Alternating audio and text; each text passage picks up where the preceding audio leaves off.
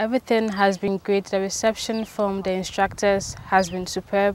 The participation from my fellow participants has also been great and everyone is putting in their best to become the best coach they can be.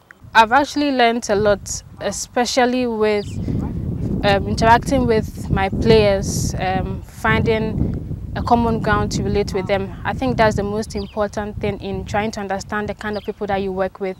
Secondly, I've also learned from the drills that we've done. At first, um, we weren't doing things like we see now, but um, the current education that we are given is game changing and giving us a lot of skills to develop the best players for Ghana that we can give. There's been a lot of drills, a lot of skills, a lot of the games here that I would take into my team. I enjoy the warm-ups. It's quite engaging and would bring out the best of my players, the best out of my players when we go out to play games and also doing training. So I'll definitely employ some of the skills and the drills learned from here.